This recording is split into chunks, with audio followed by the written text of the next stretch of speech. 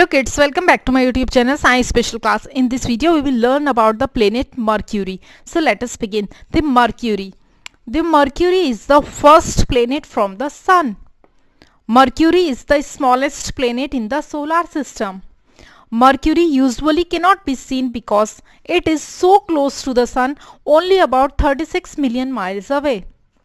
The only time to see Mercury from the Earth is during the twilight twilight of sunrise or sunset.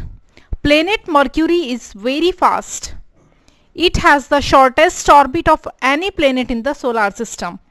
It completes an orbit around the sun in just 88 days. Mercury rotates once every 59 days. Mercury has a rocky body like Earth. Mercury has no moons of its own or it has no rings. So these are 10 lines about the planet Mercury. If you like my video then please do like and subscribe my channel. Thank you.